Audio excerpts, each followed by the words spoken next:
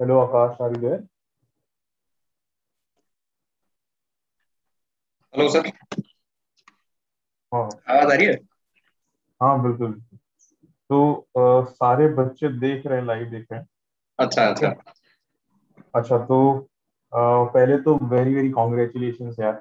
Sir thank you मतलब मुझे भी मुझे भी प्राउड फील होता है कि मैं बोलूँ कि मेरे दोस्त का भाई मतलब दोस्त का भाई आईएएस बन गया है। तो मुझे बड़ा प्राउड फील होता है इस चीज़ तो आकाश आइडिया नहीं होगा तुमको लेकिन मैंने मुझे याद है बैक इन 2009 2009 में एक जून की बात है जब हाँ। तुम बाहर खड़े हुए थे बंसल क्लासेस के जून की बात है जब मैं टेस्ट देने गया हुआ था।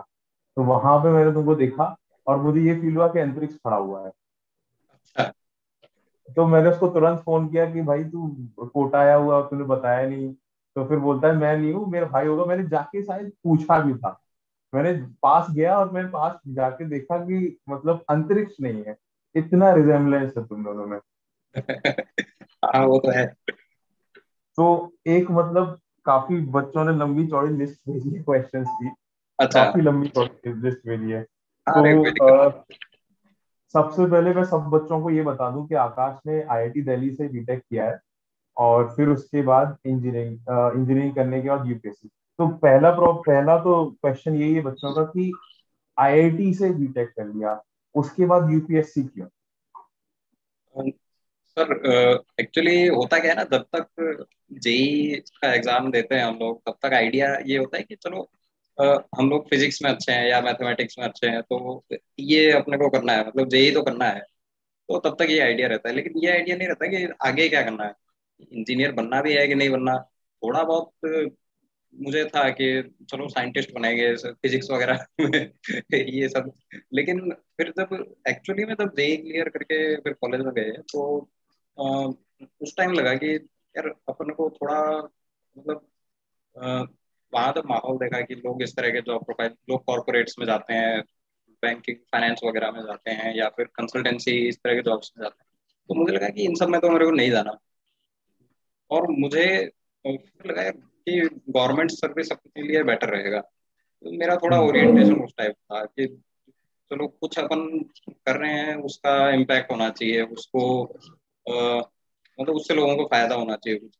और थोड़ा बहुत पेरेंट्स का भी रुझान था इस तरफ़ कि मतलब तुम आईएएस बनना मतलब मतलब तुम बहुत कुछ कर सकते हो मतलब अपने डिस्ट्रिक्ट के लिए इतनी सारी प्रॉब्लम्स तुम सॉल्व कर सकते हो।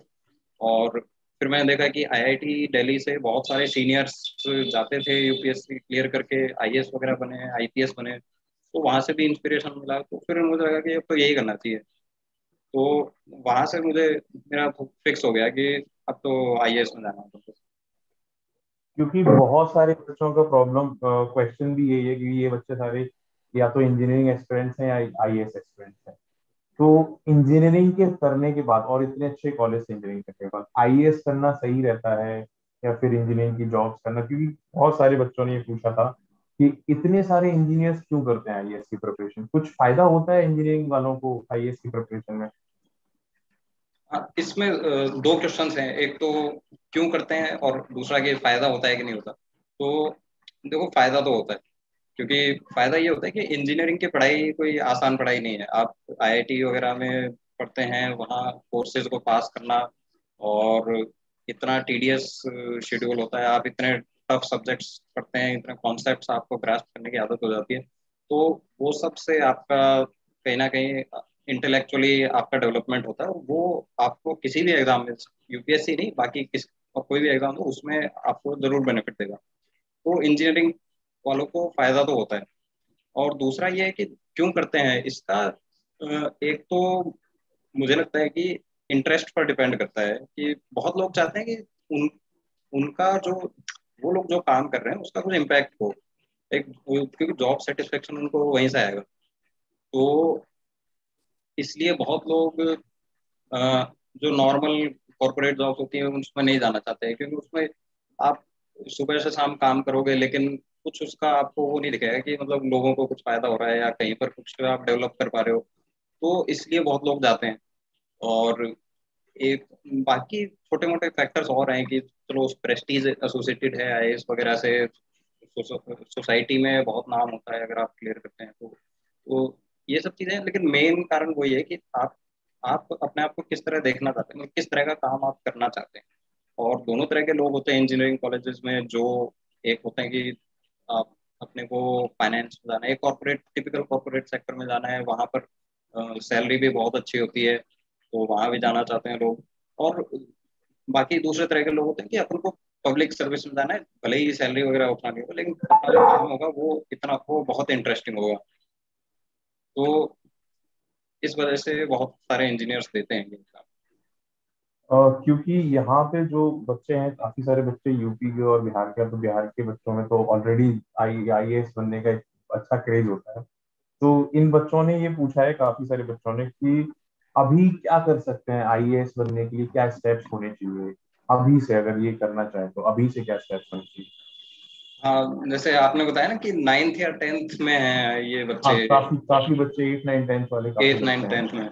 हाँ तो हाँ. अभी एक चीज़ मैं ये बोलूँगा कि एक चीज़ कर सकते हैं कि आप देखो पढ़ाई वढ़ाई तो आप कभी भी कर सकते हो। वो उस, उसमें आप को एट नाइन से ये नहीं है कि किताबें उठा के बैठना है ये इसकी या फिर उसके लिए कुछ पढ़ना है ये सब ज़रूरी नहीं है। आ, दो चीज़ें आप करो कि अभी आप जो कर रहे हो एट्थ नाइन्थ की जो पढ़ाई है उसको मन लगा के करो। आप टारगेट बना लो भाई एट नाइन्थ में मान लो बोर्ड का एग्ज़ाम है या फिर स्कूल का एग्ज़ाम है, उसमें अच्छा करना है। और दूसरा ये है कि एक अपनी पर्सनैलिटी पे ध्यान दो, जो आगे आपको आईएएस वगैरह के एग्ज़ाम क्लियर करने में फ़ायदा करे। तो उसके लिए स्पोर्ट्स या कोई रिक्रिएशनल एक्टिविटी वगैरह, इस तरह की चीज़ कोई ना कोई उठा लो। और यही परफेक्ट टाइम है उठाने का। आप फुटबॉल खेलना है फुटबॉल खेलो। आपको क्रिकेट खेलना है क्रिकेट खेलो। टेनिस खेलना है टेनिस खेलो। लेकिन कुछ ना कुछ एक आपका एक ऐसा एक्टिविटी होना चाहिए जो आपकी पर्सनैलिटी को डेवलप करे। और ये आगे जाके उतना ही काम आएगा जितना आपकी स्टडीज़ और स्टडीज़ में भी हेल्प करेगा ये। और दूसरा इसका ये फ़ायदा कि आपको डिस्ट्रैक्शन से बचाएगा, जैसे कि मोबाइल वगैरह इंटरनेट पर बैठ के टाइम पास करना, उस सबसे बचाएगा। और जितना आप ये सब अपनी पर्सनैलिटी डेवलप करोगे, उतना ही आपको पढ़ाई में भी फ़ायदा होगा। तो मैं तो यही कहूँगा कि अभी ये दो चीज़ों पे ध्यान दो। बाकी और कुछ नहीं करना अभी। स्टडी वाइज अभी से लगने की ज़रूरत नहीं है इसमें। तो एक बहुत मतलब ये तो सारे लोगों का क्वेश्चन होता है मतलब केवल स्टूडेंट्स का भी नहीं, और लोगों का भी क्वेश्चन होता है कि जैसे कभी कभी क्या होता है फेलियर फेलियर होता है लाइफ हर एक किसी को फेस करना पड़ता है फेलियर तो जब फेलियर होता है तो फिर कैसे अपने आप को रीफोकस करें और कैसे उसी कंसिस्टेंसी में वापस आए? क्योंकि आईएएस में तो ये नॉर्मली नॉर्मल सी चीज़ है कि लोग एक अटेम्प्ट में नहीं क्लियर कर पाते तो फिर अपने आप को रीग्रुप करना उसके बाद फिर से सेम जील के साथ स्टार्ट करना है कि नहीं किस साल करना है अच्छे से। तो ये फेलियर से कैसे कोप अप करते हैं इसमें? तो सर फेलियर से नॉर्मली मैंने भी बहुत सारे बहुत सारी बार फेल हुआ मैं भी आईएएस में पाँच बार फेल हुआ हूँ। एक्चुअली हाँ। चार बार फेल हुआ पांचवी बार में मेरा रैंक फाइव एटी फोर आया था और इस बार थ्री ट्वेंटी फोर आया छठी बार में। हाँ। तो चार बार तो आईएएस में फेल हुआ और एक बार जेई में भी फेल हुआ था। फिर दोबारा जेई दिया था मैंने एक साल ड्रॉप हाँ।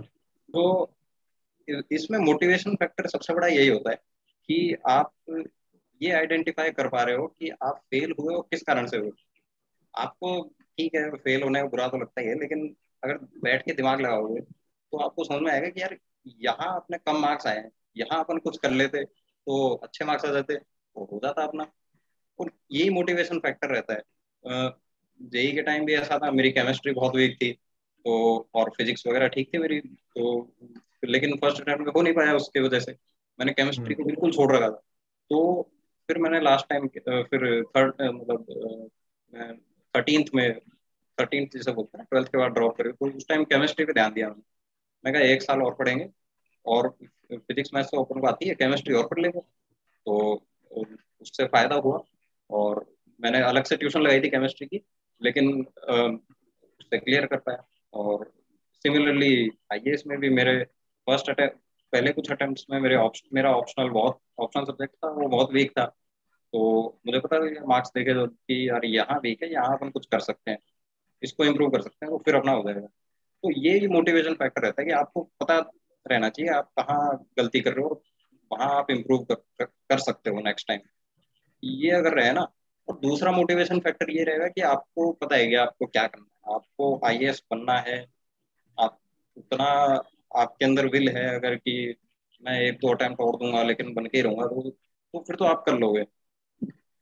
और अगर आपको लग रहा है नहीं चलो अपन ने ऐसे ही अटेम्प्ट दे दिया था अपने को कुछ और ही करना है तो फिर आप चेंज कर लो और कोई ज़रूरी नहीं है ये सबको आई बनना है। तो हाँ, हाँ, ये आपको डिसाइड करना है कि आप कितना मोटिवेटेड हो उसके लिए और फिर दूसरा, ये देखो, अगर आप एक्चुअली मोटिवेटेड हो तो फिर आप ये आइडेंटिफाई करो, आप किस वजह से फेल हुए थे? और उसको पकड़ो फिर नेक्स्ट अटेम्प्ट में कि ये फैक्टर था, इसको मुझे इम्प्रूव करना है। और तो फिर डेफिनेटली आपका इम्प्रूवमेंट होगा।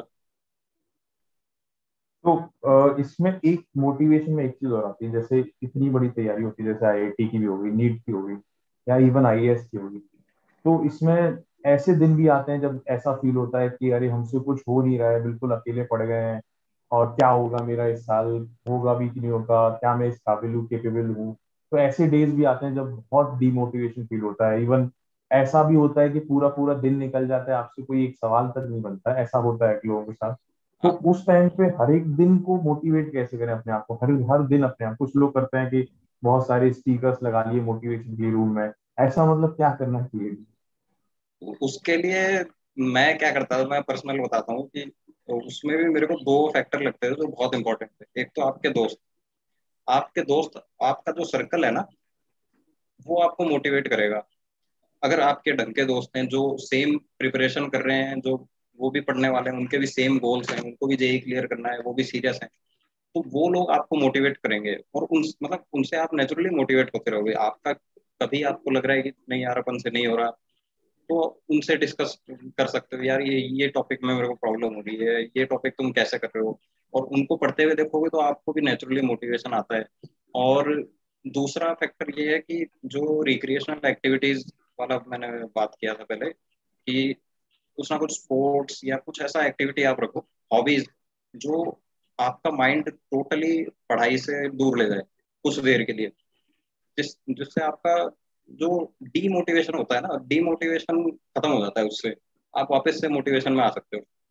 तो जब मैं जेई की तैयारी कर रहा था तब ट्वेल्थ के बाद मैंने दूसरा अटेम्प्ट देना था। तो तब तब भी हम लोग कोटा में रहते थे लेकिन उस टाइम हम क्या करते थे ना कि हम रोज शाम को एक दो घंटा फुटबॉल खेलते थे। कोटा में बहुत कम बच्चे ऐसा करते थे। क्रिकेट मैंने बहुत खेली है भाई कोटा में। रात को बारह बारह बजे तक मैच हाँ लेकिन हमारा फिक्स था कि दो घंटे खेले बाकी टाइम डीपीबी सॉल्व करेंगे ट्यूशन लगाएँगे बाकी टाइम सारा होमवर्क करेंगे लेकिन दो घंटे भैया फुटबॉल ज़रूर खेलना है। तो हम्म। ये दो इस तरह की चीज़ों से आपका जो मोटिवेशन लेवल है एनर्जी लेवल है ना वो बना रहेगा। और आप कभी भी डाउन फील नहीं करोगे कि नहीं यार मुझे तो कुछ नहीं आता मेरा कुछ नहीं हो सकता वो फीलिंग नहीं आएगी फिर। एक और बहुत इंपॉर्टेंट चीज़ है आज आजकल के टाइम पे डिस्ट्रैक्शन बहुत होते हैं। फोकस करने में बड़ी दिक्कत होती है लोगों को। सबसे बड़ा डिस्ट्रैक्शन तो मोबाइल ही होता है फिर और भी डिस्ट्रैक्शन। होते हैं। तो ये डिस्ट्रैक्शन कैसे अवॉइड करें और मोबाइल का यूज़ कितना करना चाहिए? इन बच्चों को थोड़ा समझाओ क्योंकि मैं तो समझा समझा हार चुका देखो एक्चुअली तो मोबाइल का कोई यूज़ है ही नहीं। स्पेशली uh, अगर आप देखें कि हम हम लोगों ने जब जेई क्लियर करा था, कोई मोबाइल इंटरनेट वगैरह कुछ नहीं था, हम लोग क्वेश्चन सॉल्व कर, करके प्रैक्टिस कर, करके हमने क्लियर करा। तो एग्ज़ाम पॉइंट ऑफ़ व्यू से मुझे उतनी यूटिलिटी लगती है मोबाइल की। खाली लोग टाइम पास करने के लिए अगर मोबाइल चला रहे हैं तो उसको कैसे अवॉइड करना है, उसका एक ट्रिक है। उसका ये ट्रिक है कि आप मोबाइल को बंद करके कहीं दूर रख दो। और जब आप स्टडी टेबल पे बैठे हुए और जब आपको बीच में मन करेगा, यार मोबाइल उठा के देखता हूँ। तब तो आपकी रीच में नहीं होगा मोबाइल वो दूर कहीं होगा। तो फिर आप दोबारा पढ़ने लग जाओगे। इस, एक, इस तरह की ट्रिक आप यूज़ कर सकते हो। दूसरा ये है कि आपको ये समझना होगा कि मोबाइल से आपका नुकसान हो रहा है। आप जितनी देर मोबाइल चलाओगे, आपका जो मेंटल एनर्जी है ना, वो लॉस होगा उसमें। आप ये नहीं कह सकते कि मोबाइल से आपको रिलैक्सेशन करने को मिल रहा है। रिलैक्सेशन करना है आप स्पोर्ट्स खेलो, कोई और रिक्रिएशनल एक्टिविटी करो, जिससे कि उससे एक्चुअल में बेनिफिट होगा आपको, पढ़ाई में फ़ायदा होगा। लेकिन मोबाइल चलाने से आप अपनी एनर्जी वेस्ट कर, आप अपना टाइम भी वेस्ट कर और दूसरा ये है कि आप अपने गोल्स से भी भटक जाते हो फिर धीरे धीरे तो उसका बेस्ट ऑप्शन यही है कि अगर आप मान लीजिए एक आपका जेई है एक साल बाद। एक साल के लिए आप ये रूल बना लो कि मैं मोबाइल को अपने रूम में रखूँगा ही नहीं। मैं किसी दूसरे रूम में रखूँगा और अपने रूम में पढ़ूँगा। और उस जब आपने, आपके डेली का टारगेट है कि मेरे को इतने क्वेश्चन करने थे ये ये टॉपिक करने थे, ये वो सब आपने कर लिया। उसके बाद आप जाके एक आध घंटा, आप कोई भी अपना मैसेज वगैरह चेक कर सकते हो। वैसे भी टेंथ टेंथ क्लास वगैरह में तो ऐसा कुछ बहुत इंपॉर्टेंट मैसेज आपको आते भी नहीं होंगे, लेकिन ठीक है आप उसको दूर रखो। जितनी देर आप पढ़ रहे हो, उसको किसी बहुत दूर कहीं रख स्विच ऑफ़ करके रख तो वो आप कर सकते हो। एक और चीज़ होती है फोकस क्योंकि जैसे आई की प्रिपरेशन में तो बहुत सारा टाइम एकदम लगातार पढ़ना पड़ता है। तो इतने घंटे तक फोकस करके स्टडी कैसे करें? क्योंकि ये फोकस वाली चीज़ तो सब पे अप्लाई होती है। आईआईटी में भी फोकस लगाना ही पड़ता है नीट कर रहे हैं तो भी फोकस लगाना पड़ता है। तो इतने घंटे फोकस करके स्टडी करें? सर फोकस का ये है कि आप फोकस की भी ना प्रैक्टिस प्रैक्टिस से आता है फोकस शुरू शुरू में हो सकता है कि आपको फोकस करने में थोड़ा मुश्किल हो। आ, कोई नया आ, नया सब्जेक्ट आप स्टार्ट करते हैं इस तरह की चीज़ करते हैं। जैसे आई वगैरह होता है तो आपको लगता है कि यार ये तो नहीं हो रहा मुझसे फिर आपका माइंड डिस्ट्रैक्ट होता है इधर उधर और मोबाइल भी बहुत बड़ा फैक्टर है। तो फोकस आपका अटेंशन स्पैन कम होता है मोबाइल वगैरह यूज़ करने से। तो उसको आप पहले ही आप हटा दो। इस तरह के डिस्ट्रैक्शन को आप हटा ही दो। और दूसरा फोकस में रहने के लिए आप क्वेश्चन फॉर एग्ज़ाम्पल जेई के बारे में बता रहा हूँ कि जेई में uh, जब तक आप क्वेश्चन सॉल्व करते रहते हो आपके सॉल्यूशंस आते रहते हैं उससे एक थोड़ा आपको मोटिवेशन मिलता है हल्का सा कि यार ये मैंने सॉल्व कर दिया। तो उससे फिर उसको आप बिल्ड करोगे। ठीक है, अब मैं एक और क्वेश्चन करता हूँ। तो आप उस साइकिल में अगर आ जाओगे ना जब आपको अपना क्वेश्चन सॉल्व करने से सेटिस्फेक्शन मिलने लगेगा तो तब तो अपने आप फोकस बनेगा। और यदि आपको उस सब्जेक्ट में इंटरेस्ट नहीं आ रहा है, तब फोकस लूज होता है। तो इंटरेस्ट बिल्ड करो। इंटरेस्ट बिल्ड करो, कैसे आपके टीचर्स अच्छे होने चाहिए? अपने टीचर्स से बात करो कि सर, मुझे तो ये सब्जेक्ट बिल्कुल ही अच्छा नहीं लग रहा, मैं क्या करूँ? आपके टीचर्स आपको अच्छे से बताएँगे कि इसको किस तरह से अप्रोच करना चाहिए। तो इंटरेस्ट डेवलप करो उसमें, अपने डिस्ट्रैक्शन को हटा दो और ये छोटी छोटी चीज़ें जैसे कि कोई क्वेश्चन सॉल्व कर लेना, उससे आप सेटिस्फेक्शन डिराइव अगर करोगे तो आपका फोकस बना रहेगा। एक और थोड़ा सा इंटरेस्टिंग सा सवाल पूछा है ने कि जिस दिन आई का रिज़ल्ट आया उसके बाद से आपकी लाइफ में क्या चेंज हुआ? जिस रिज़ल्ट आया, पता चल गया कि अब मैं बन ही जाऊँगा तो उसके बाद से आपकी लाइफ में क्या चेंज हुआ? उसके बाद से ऐसा एक एक तरह का ना वो वो हट जाता है आपसे। आपके ऊपर एक प्रेशर होता है कि यार, ये मेरा गोल था, अभी तक मैं अचीव नहीं कर पा रहा इसको। तो हल्का सा वो होता है, वो हट जाता है। और उसके बाद थोड़ा फ्री महसूस करने लगते हो आप। कि चलो यार कुछ अपने अचीव कर लिया। अब आ, ये चेंज आता है और दूसरा ये चेंज आता है कि अब नेक्स्ट गोल क्या होगा?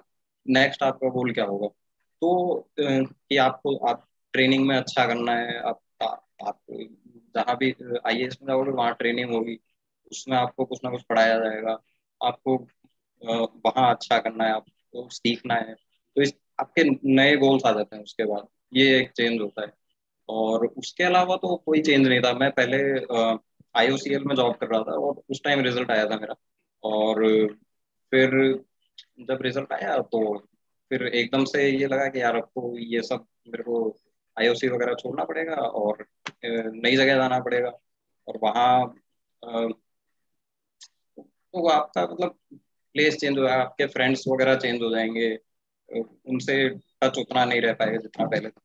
लेकिन आप, आपको नए फ्रेंड्स बनाने का मौका मिलेगा, आप नई जगह जाओगे, नए लोगों से मिलोगे तो वो एक चेंज आता है। उसके अलावा तो क्या है? बाकी सब बढ़िया है। पहले भी अच्छा था आई में था, बढ़िया नौकरी कर रहा था, अभी भी अच्छा है। अच्छा इन बच्चों के साथ एक एक ये दिक्कत और भी होती है कि एम रोज रोज चेंज होता है। एक दिन अचानक से मैथ्स अच्छा लगेगा तो सोचेंगे कि आई करना है। फिर अगले दिन बायोलॉजी अच्छी लगेगी तो सोचेंगे नीट करना है फिर कुछ नहीं अच्छा लगेगा तो बोलेंगे कॉमर्स ले लेंगे या ये कर लेंगे या वो कर लेंगे। तो एम को कैसे फिक्स किया जाए? क्योंकि एम फिक्स करना भी बहुत ज़रूरी है। ऐसी एज में एम को कैसे फिक्स किया जाए? हाँ ये इस एज इस टाइम पे लगता है एट्थ नाइन्थ नाइन्थ क्लास वगैरह में आपको लगेगा कि मतलब नाइन्थ टेंथ में कि अपन आए अपन को आईआईटी करना भी है अपन उसके लिए बने भी हैं कि नहीं तो वो सब है। आ, लेकिन उसके लिए मैं ये कहूँगा कि आप है ना आप कोई भी स्ट्रीम अगर चूज़ करते हो तो अपने स्ट्रेंथ देख कर चूज़ करो।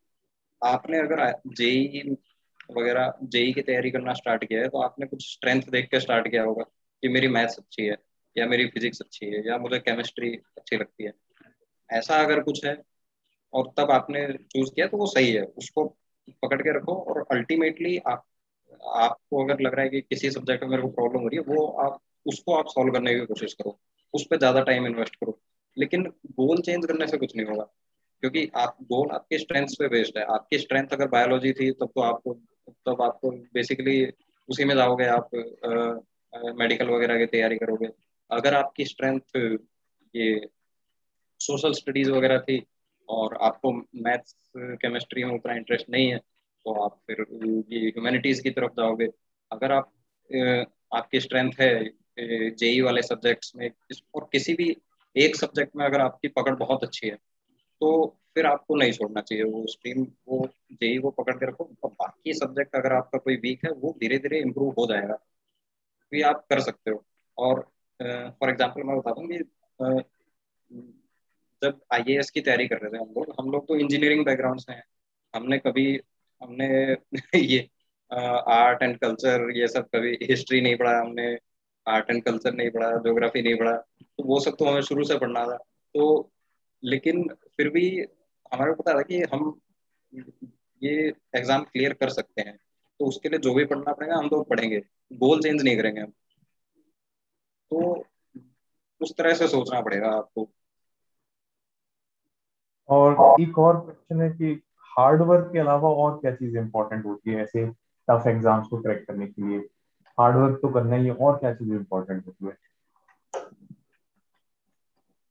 एक एक तो सर बहुत इंपॉर्टेंट चीज़ है कि आप सही गाइडेंस लो। ऐसे एग्ज़ाम को क्लियर करने के लिए। अगर आप हार्ड वर्किंग हो, लेकिन आपको गाइडेंस अच्छी नहीं मिली, आपको मेंटर अच्छा नहीं मिला, आपको टीचर ने अच्छा गाइडेंस नहीं दिया है, तब कोई फ़ायदा नहीं होगा। आपका हार्ड वर्क पूरा वेस्ट जा सकता है। तो अच्छे लोगों से गाइडेंस लो। एक तो ये है। दूसरा अच्छा मटेरियल बहुत लोग हार्ड वर्किंग होते हैं, लेकिन ऐसे फालतू मटेरियल्स पढ़ने लग जाते हैं, जिसका एग्ज़ाम से कोई रेलेवेंस नहीं है। बस किसी ने बता दिया, कहीं से सुन लिया और वो पढ़ना स्टार्ट कर दिया उन लोगों ने। सारा टाइम उसी में वेस्ट कर दिया। तो मटेरियल आपका एकदम प्रिसाइज होना चाहिए कि भाई ये ही मटेरियल लगता है इस एग्ज़ाम इम्पोर्टेंट है इस एग्ज़ाम के लिए और मैं बाकी आलतू फालतू के मटेरियल में टाइम वेस्ट नहीं करूँगा। और दूसरा, आपका मेंटर अच्छा होना चाहिए। आप किसी बंदे ने अगर एग्ज़ाम क्लियर करा है उससे गाइडेंस लो। जिससे मतलब जो जानता है उसके बारे में, जिस जिस मेंटर ने अच्छे रिजल्ट्स दिए हैं, जिसके स्टूडेंट्स ने अच्छा रिज़ल्ट लाया, उससे आप गाइडेंस लो। आप कंटिन्यूसली ये देखो कि जो लोग अच्छा कर रहे हैं, वो क्या कर रहे हैं। वो वो किस तरह से पढ़ रहे हैं उनको फॉलो करो। ये कुछ चीज़ें आप आपके हार्डवर्क के साथ जब कंबाइन करेंगे तब आपका रिज़ल्ट आएगा। तो मतलब लास्ट क्वेश्चन कि इन बच्चों के लिए एक मैसेज कोई भी जो देना चाहते हो आप इन बच्चों के लिए? सर मैसेज यही है कि देखो आप अपना स्ट्रेंथ आइडेंटिफाई करो पहले कि आप कौन से सब्जेक्ट में आप अच्छा कर सकते हो? अगर आपको लगता है कि आप मैथ्स मैथ्स फिजिक्स में अच्छा कर सकते हो या फिर बायोलॉजी में अच्छा कर सकते हो या ह्यूमैनिटीज में अच्छा कर सकते हो तो वो आप उस पर सोचना शुरू करो। आप, आपका एप्टीट्यूड क्या है? आप किस तरह का सब्जेक्ट आप पढ़ना चाहते हो? और दूसरा ये, दूसरा मैं कहूँगा कि पर्सनैलिटी डेवलप करो। आप कुछ ना कुछ रिक्रिएशनल एक्टिविटी आप सीखो स्पोर्ट्स वगैरह आप और इस टाइम पे लोग वॉलीबॉल वगैरह स्कूल में कुछ ना कुछ ज़रूर खेलते हैं क्रिकेट खेलते हैं तो वो सब कंटिन्यू रखो। ये, और उसके बाद सब अपने आप हो जाएगा। सर, अपनी स्ट्रेंथ आइडेंटिफाई करो और ये अपनी पर्सनैलिटी पे ध्यान दो। और दूसरा, एक और एक और चीज़, एक और चीज़ कि आप उस समय जो कर रहे हो ना एट एट दैट मोमेंट आपका जो गोल है, उसको आप अच्छे से करो, ज़्यादा दूर का सोचने की ज़रूरत नहीं है। अगर आप टेंथ में हो तो बोर्ड का एग्ज़ाम कैसे अच्छे से देना है, उस पर ध्यान दो। बस, बाकी ज़्यादा दूर का नहीं सोचना है कि मेरे को ये बनना है, मेरे को आई बनना है, वो करना है। ये सब सब अपने आप होता है। आप इमीडिएट गोल पर ध्यान दो। तो अभी यही मैसेज है। बाकी सब अपने आप समझ जाएँगे ज़रूर एक एक बहुत सारे लोग ये चीज़ जानना चाहते हैं कि आई के इंटरव्यू में नर्वसनेस होती है या नहीं होती है? और वहाँ पे क्या फील होता है? ये बहुत सारे लोग जानना चाहते हैं। हाँ तो आ, मेरा क्या था ना मुझे तो किसी भी इंटरव्यू में बहुत नर्वसनेस फील होती थी। मेरे और शुरू के कुछ इंटरव्यूज़ मेरे बिल्कुल भी अच्छे नहीं गए। मैंने आई ई एस करके एक एग्ज़ाम है इंडियन इंजीनियरिंग सर्विस वो दिया था। तो उसका इंटरव्यू मेरा बहुत खराब गया था मैं बहुत नर्वस हो गया था। मुझे जो आंसर आते थे वो भी नहीं दे पा रहा था। और वो भी यूपीएससी लेता है उसका इंटरव्यू तो बहुत नर्वस हो गया था। तो और उसके बाद सिविल सर्विस का एक थाउज़ेंड सेवनटीन में मेरे को इंटरव्यू देने का चांस मिला था। तब भी मैं नर्वस हो गया था और मैं आंसर सही से नहीं दे पा रहा था। तो उसके कारण मेरे को बहुत नुकसान हुआ और उस टाइम फिर सिलेक्शन भी नहीं हुआ मेरा उनमें। लेकिन फिर मैं रियलाइज़ करा कि यार देखो, आप नर्व इंटरव्यू में नर्वसनेस को अगर दूर करना है ना तो आपको कॉन्फिडेंस चाहिए अपने आप में। और अपने आप में कॉन्फिडेंस कब आएगा? जब आप समझोगे कि आप आपके पास वो नॉलेज है जो एग्ज़ाम डिमांड करता है, जो वो इंटरव्यू डिमांड करता है। तो आप अगर अच्छे से प्रिपेयर करके जाओगे तो आप नर्वस नहीं होगे। और दूसरा फिर ये है कि मैंने मान लिया था कि देखो, अब नर्वस तो अपन होंगे। तो मैंने ये मान लिया था कि अब ठीक है, देखा जाएगा। अपन एकदम रिलैक्स होके देंगे इस बार। ज़्यादा सोचना ही नहीं है कि कि अपन अच्छा अपना इंटरव्यू अच्छा जा रहा है, खराब जा रहा है, या उन्होंने मेरे से ये पूछ लिया, मैं कैसे आंसर दूँगा इसका? ये सब सोचना ही नहीं है। जो आप फ्री माइंड से जितना जितना फ्री माइंड से इंटरव्यू दे सकते हो नेचुरली आपके जो आंसर आ रहे हैं ना, वो उस तरह से आप दोगे ना तो नर्वस फील होगा। और ये मैंने किया तो फिर मेरे मार्क्स इंप्रूव हुए इंटरव्यू में। तो नर्वस वगैरह सब फील होते हैं, लेकिन उसको डील करने के लिए आपको ये मानना पड़ता है कि भाई ठीक है नर्वस सब सब होंगे लेकिन रिलैक्स होकर देना है अपन को। क्या ज़्यादा से ज़्यादा क्या हो जाएगा? सिलेक्शन नहीं होगा कुछ और कर लेंगे। बस। तो Akash thank you so much कि आप आए और बच्चों को मोटिवेट किया। आई होप कि बहुत सारे बच्चे इंस्पायर होंगे और एक दिन मतलब जूनियर लेवल पे मिलेंगे कहीं ना कहीं पोस्टेड मिलेंगे ज़रूर मिलेंगे। ये बच्चे बहुत शार्प हाँ। बिल्कुल। Thank you very much sir और इन बच्चों तो, को भी ऑल द बेस्ट अपने करियर के लिए और आगे जो भी जेई वगैरह जो भी एग्ज़ाम के लिए प्रिपेयर करें उसके लिए भी ऑल द बेस्ट आपको भी all the best for the training और बहुत अच्छा करें जहाँ भी आप पोस्टेड हो। और टच में रहेंगे। अगर ज़रूरत पड़ी तो बिल्कुल sir any time any time thank you so much sir okay sir thank you